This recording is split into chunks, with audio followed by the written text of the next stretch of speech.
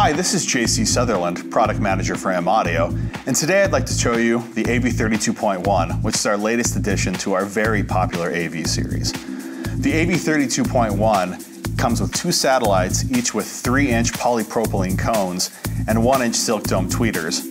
Both of the drivers, if you poke them, will pop back out. So if you have kids, it's a great solution. It's really hard to wreck the speaker. The subwoofer is a 6.5 inch downward firing driver that goes all the way down to 36 Hz, so the system itself is full range. On the back of the subwoofer, it has an optical input, two RCA inputs, and two TRS inputs, so it'll work with pretty much any application you have, from a bedroom studio to plugging it into your TV.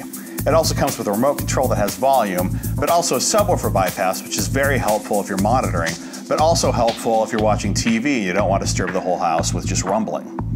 The AV32.1 is a very, very powerful full range system and makes an excellent addition to bedroom studios as well as your living room. I'm JC Sutherland. Thanks.